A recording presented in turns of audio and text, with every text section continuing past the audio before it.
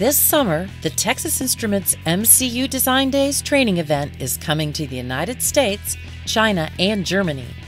Join us in our headquarters city of Dallas, Texas on July 14th and 15th at the Hyatt Regency North Dallas, or in Shenzhen, China on August 14th and 15th at the Westin Shenzhen.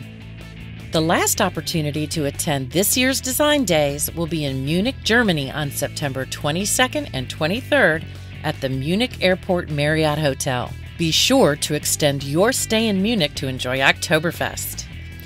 Over the course of two full days, our MCU and wireless connectivity experts will be teaching 24 training classes, including technical overviews and hands on labs. For a customized experience, choose only the classes applicable to your interests.